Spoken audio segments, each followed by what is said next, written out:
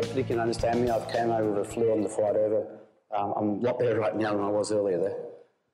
Um, so web application debug toolbars exist for various web frameworks. Solutions exist for frameworks implemented in Python, as well as Ruby, PHP, and Perl. Now, I have no idea where that idea first originated, but for Python at least, the first example I know of is the Django debug toolbar. Uh, although I'm sure if we have some Zope fanatic in here, he'll jump up and down and say, no, no, you're wrong. We had it years earlier. But, but in my research, I could only find Plone, and that was only implemented more recent times. So I'll say Django wins. As to what they are, the actual web application debug toolbar is a piece of code which is embedded within your web application.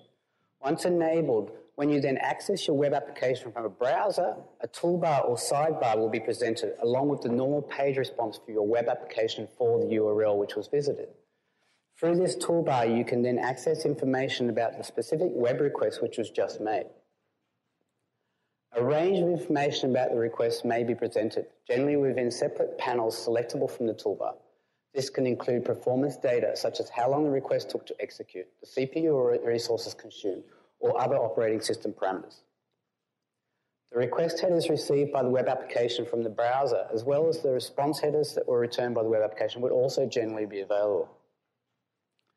As with details of any request parameters and cookies, a and a range of framework specific information could also be available. This may include session information derived from cookies, the URL route match, and the name of the actual handler function which processed the request. Even more detailed information about work done within the context of a request for database queries and template rendering might also be available. The case of the Django debug toolbar, as I've been showing, it provides a set of quick setup instructions. First, you need to get the Django static files feature working. After having done that, add the Django debug toolbar itself to the list of installed applications in the Django settings module. You'll also need to ensure that Django is running in debug mode It's now just a simple matter of running up the Django development server and you're all ready to go, or at least you hope so. In the quick setup instructions for Django uh, debug toolbar, you'll find this very nice, very nice and cheery message warning you of possible impending doom. So your luck may vary, but this obviously raises the question of what is Django debug toolbar actually doing on startup that could cause such a mess? including the possibility of circular imports and errors telling you that you've configured things incorrectly. The answer to this lies in the note in the documentation preceding this warning, and that is that Django Debug Toolbar is using an evil little hack to bootstrap itself. Specifically, Django Debug Toolbar wants to monkey patch additional configuration into the Django settings module and URL views. To do this, it is hijacking the validating of database models when using the development server to run code which has nothing to do with the actual database. Now, I have got wind of some changes in Django 1.7 related to application initialization. So it is possible this may no longer apply in Django 1.7. But what do you do if what do you do if the server does blow up on you because of this? Also, since this evil workaround is dependent on using the Django development server, how can you use the Django debug toolbar with an alternate web service such as ModWSGI? For this eventuality, Django's debug toolbar provides you with additional explicit setup instructions as well. The first step in that is that you need to tell it in the Django settings module to not do its evil monkey patching. Now, we already added the Django debug toolbar to the list of installed applications. Uh, this is still required, otherwise Django will not know where to find the static file assets and template files that Django debug toolbar view handlers require. Leave it out and you will immediately get a template does not exist exception from your web application when accessed, and we don't want that. Next, we need to change the Django URLs configuration. This is to insert special Django debug toolbar view handlers to process any requests which are received under the underscore debug sub URL of the Django application. Wisdom is that Django debug toolbar should never be used on a production system, so this is also gated by checking the Django debug flag. This is, of course, assuming you know why you should not be running Django in production with the debug flag enabled. Although I was a bit worried about the talks and security talk, the comment in the security talk suggesting that a lot of people do, which is a bit worrying. So after adding in the URLs for the Django debug toolbar, we need to add in a middleware class. This is a quite important part of the Django debug toolbar code, and its placement in the middleware classes list is also very important. It must be placed as close to the start of the middleware class list as possible, but after any middleware that encodes the response, such as gzip middleware. Finally, although you should only be running the Django debug toolbar in a development environment, you still need to protect who can access it. The last thing you want is someone being able to access it over the conference network while you're watching my talk here.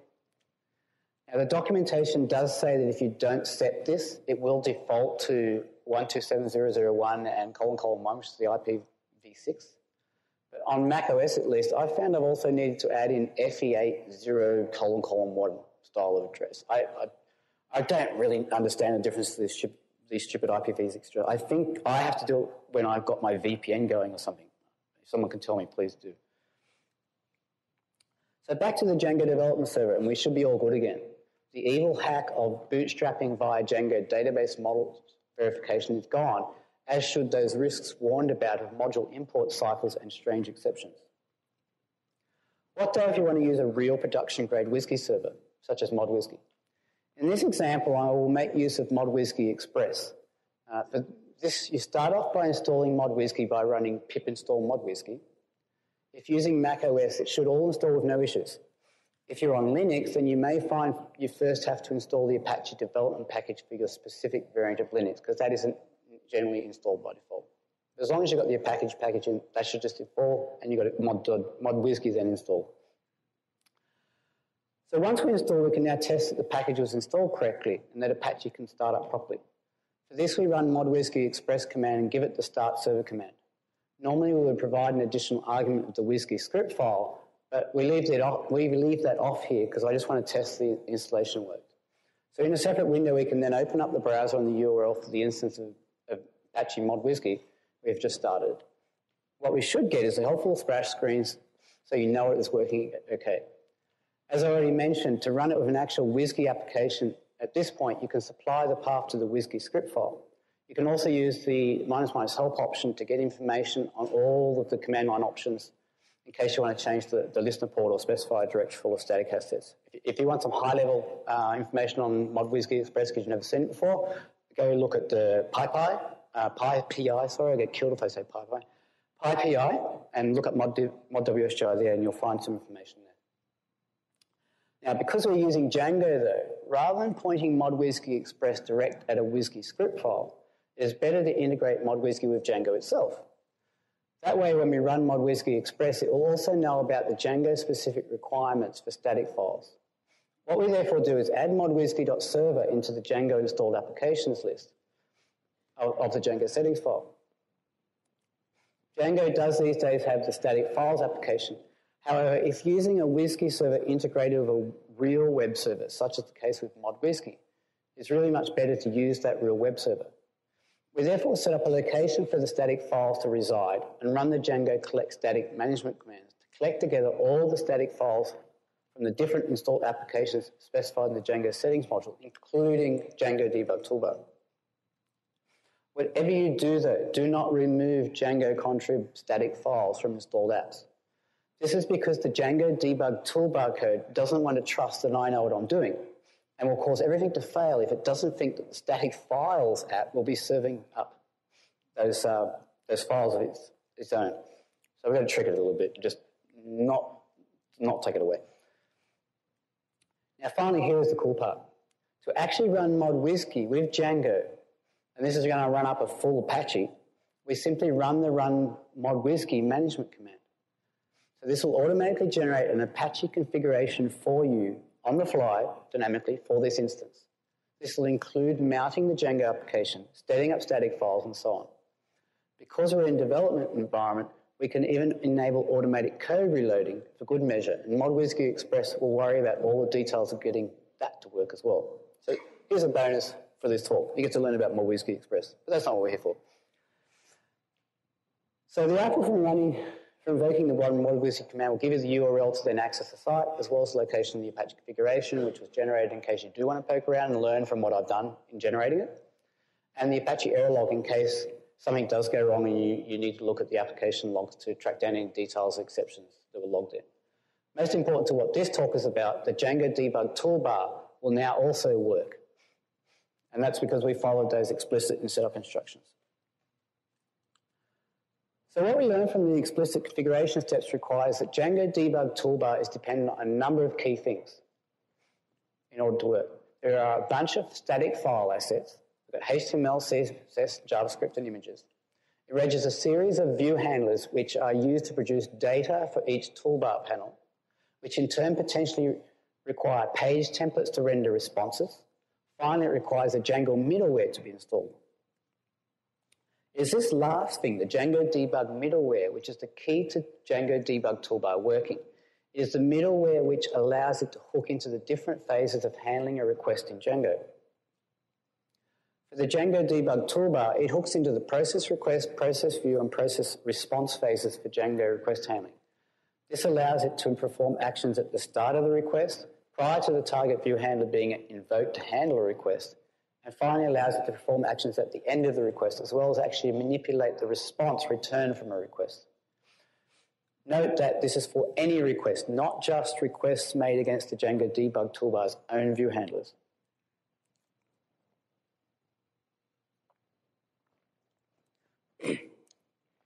the part which is initially of most interest in the middleware occurs in the process response phase.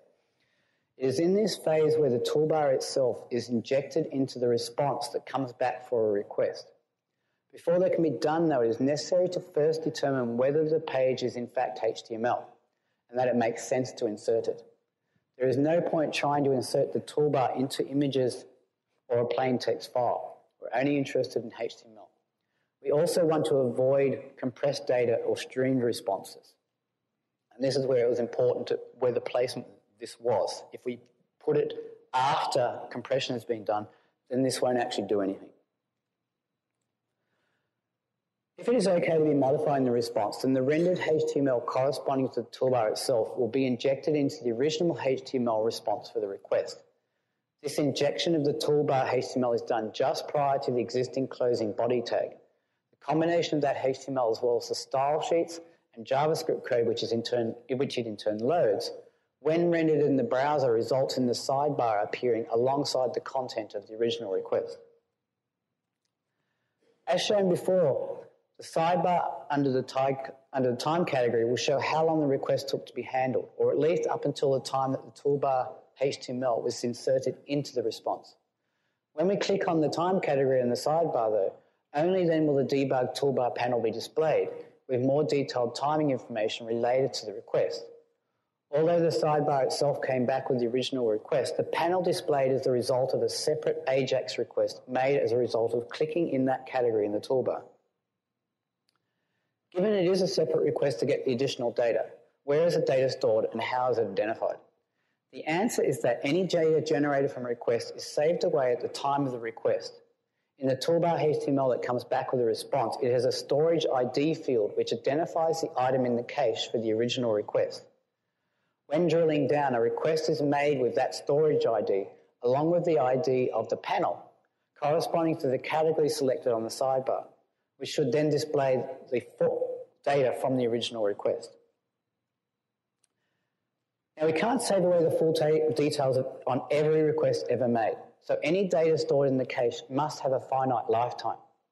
By default, the number of requests for which data is retained is 10. This is actually quite a big limitation as to as what it means is that the debug toolbar is not very useful when you're trying to use it on an application which is any traffic beyond just that which you are manually creating with your browser. This is because any data on the request you're interested in would have been thrown away by the time you drill, drill down to it otherwise. As well as potentially losing data, if there are other users concurrently using the same web application, the data can be purged if you are working on a page which has a heavy JavaScript component, which makes additional AJAX requests after the initial page response has been returned. These AJAX requests are a problem in themselves, and this is because the Django this, this is because Django Debug Toolbar only provides you the ability to debug the primary HTML request. There is no ability to get details of any of those subsequent AJAX requests made from that page. The limitation on AJAX requests is that the toolbar is displayed in line with the current request only. To better understand what I mean by this, it actually help, helps to look at how the debug toolbar for the Pyramid web framework works in comparison to that for Django. In the Pyramid debug toolbar, you do not get a sidebar for the current request. Instead, you only get an icon indicating that the debug toolbar is operating. When the icon is clicked on it, it then goes off to a completely separate window. So what the Pyramid Django, the Pyramid Debug toolbar does is not show any details in line to the current request. Instead, you always access details requests from a separate window which shows a list of the last 20 requests. When clicking on the inline icon within the initial page response, it will push you across to the details of that specific re request in the separate window. Important is that since you now see all recent requests, you can also see any separate AJAX requests served by the web application for other assets associated with the page. Having jumped to look at Pyramid, let's look at the history of debug toolbars for Python. As I already said, as far as I know, it started out with the Django debug toolbar. This was summarily copied in creating the Flask debug toolbar. From the Flask debug toolbar, then came further copies tailored for Bottle, Web.py, and Pyramid. As far as I know, with the exception of Pyramid, they all simply copied the inline style of the debug toolbar as originally implemented by Django. Only Pyramid branched out and tried to address tracking of AJAX requests. The Pyramid Debug toolbar was therefore an improvement, but in my mind, they all have one big failing.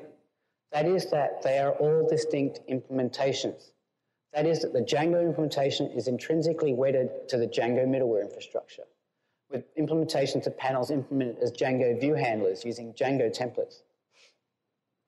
Flask uses its own middleware and Jinja 2, and so on for the others, with each being ported to their, their specific way of doing things. The opportunity missed here, as far as I'm concerned, is that all these different frameworks at their lowest levels implement the WSGI specification. Yes, the debug toolbars do offer some panels which are framework specific, but the core functionality they implement they can be implemented as a WSGI middleware. There's therefore been quite a lot of effort wasted in creating these separate implementations, whereas if it was done at the WSGI level, there could be one debug toolbar to rule them all, which worked everywhere. So imagine it for a moment. One debug toolbar that was best of breed. When someone enhanced it due to what they found when using a specific web framework, all other web frameworks could benefit as well. Now, wouldn't that be wonderful? Unfortunately, Python web communities have a history of not cooperating, each believing their framework is the only true way. And Django, unfortunately, is no different. So, what inevitably happens, therefore, is that they build things which will only work with their specific framework someone annoying. So I think, I, I believe we can do better. So since I think it is such a great idea, let's have a look at implementing the basic mechanisms of the debug toolbar code at the WSGI level using a WSGI middleware. In particular, let's look at how we can manage to inject the toolbar HTML code into the response for a request. If we work out how to do that, then we're well on our way. This is where we can learn from the Django middleware code I showed earlier. It may not be obvious, but there are a couple of key things which are going on here. The first is that the HTML code is being inserted just prior to the closing body tag. And the second is that the content length for the response is being updated. In other words, it needs to operate on the complete response. This presents us with a bit of a problem, and that is that in WSGI applications, the response doesn't need to come back as one byte string, but as a sequence of byte strings. As far as inserting something at the end of the body, we would just look, we could just look at each separate byte string until we find the closing tag for the body and then insert it. The issue is, though, that we also need to update the content length. And if we can't know the length of what is being inserted until it is inserted, we can't adjust the content length at the point the headers are sent and still stream the response. Now, we could buffer all the response content in the middleware and then operate on the complete response content. Then send it on, uh, send it on after adjusting the content length. Technically, though, you're not meant to do this in WSGI middleware according to the WSGI specification. Plus, it would cause applications which slowly stream data over time to break, as nothing would be sent until all the content was generated. The actual size of the response content could also be a problem if, for example, one was streaming a very large file that you couldn't actually fit into memory. If having to insert it at the end of the body is such a problem, why are we inserting it at that point anyway? The reason is that part of what is being inserted consists of JavaScript code, and wisdom is that this should always be inserted at the end of body so as not to delay page loading by, by doing it earlier in the page. That may well have been the case once upon a time, but But are there now better ways of doing it which would allow us to ins- in, instead insert it at the start of the response content instead? With the modern browsers we use today, rather than needing to defer things to the end of the body, we can instead load the JavaScript from the head element of the page, marking that it should be loaded asynchronously rather than inline to the request. By being asynchronous, it will not delay the loading of the remainder of the page. When the JavaScript is loaded, we then need to trigger an action to go back and modify the DOM for the loaded page to insert what we wanted there in the first place. We have to be careful in doing this though, as we likely need to ensure that the page has actually been completely loaded. What we can do therefore is trigger any action to modify the DOM off the document being ready in the JavaScript code we are loading. How does this help though? The reason is that we no longer have to buffer up the complete response in order to be able to insert into the end of the body. At worst, we have to buffer up to the start of the body, but the amount we have to buffer up is a lot less and so doesn't present an issue with memory. It is also highly unlikely, even with a streaming response, that the head element would be sent slowly in parts. Instead, the head would be sent in one go up front, and it would only be the body which was sent out slowly. We can handle insertion, but what about the UI itself? The problem with the existing toolbars is that the UI is intrinsically linked to the URL routing, request handler, and page template systems of those specific frameworks. My suggested solution for this is only to have a REST API served up via the WSGI middleware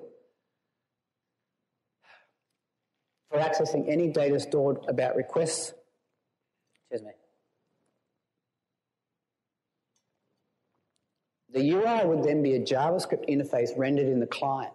By using a REST API in the WSGI middleware to get access to data, we're then separated from the specifics of a particular web framework's way of doing things. So you thought in coming to this talk that you would learn about how debug toolbars work. Hopefully you have in part. But what I really want to pitch is the idea that our current debug toolbar implementations could do a big overhaul. In particular, there is a great opportunity to come up with a debug toolbar which could work with any WSGI framework. I think we could build a better ecosystem and make our job of debugging Python web applications a lot easier. And more importantly, diverse sets of people from different web frameworks can contribute to this so that we all get benefit from it.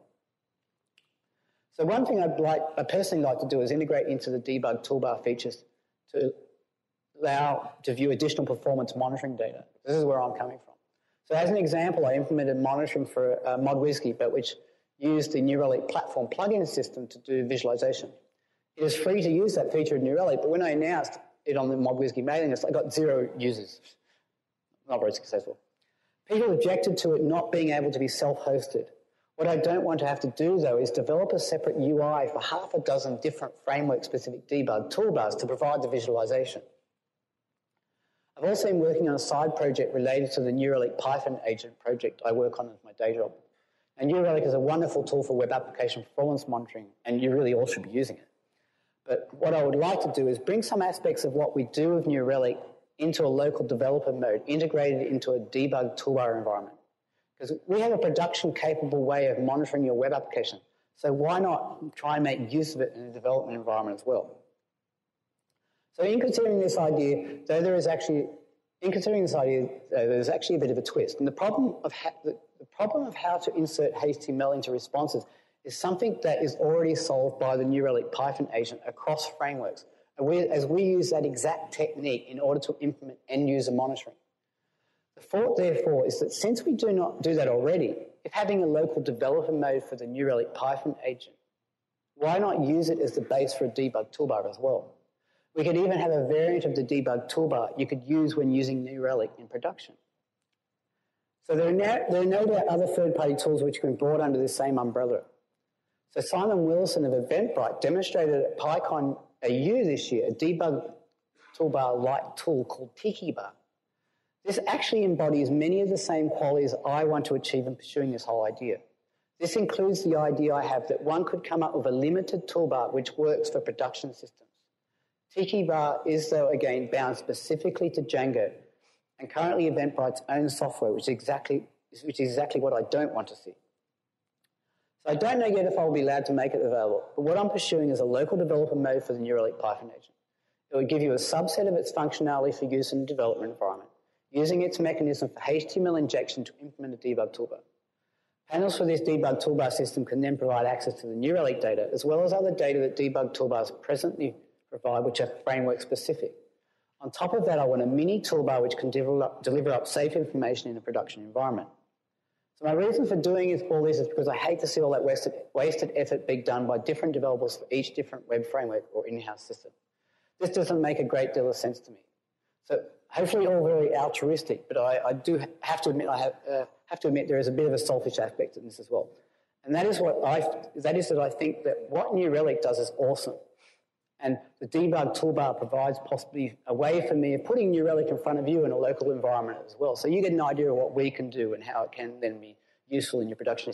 Hopefully you won't concentrate too much on that stuff and you'll say, hey, this is just a great idea anyway. So certainly I'd love it if you go and try New Relic, but if you aren't interested in that at least, but you are interested in improving on the existing web application debug toolbars available, then come and talk to me. Tell me what your own thoughts and ideas and features are that you want to see in this sort of thing. I'll be around for the sprints and we'll be working on this or on Mod Whiskey. So if you come and talk to me about it then. Um, and also finally, if you are looking for an actual paid job and you sort of know a bit about New Relic and you're interested in that sort of stuff, we are actually looking for someone who is strong in Python testing.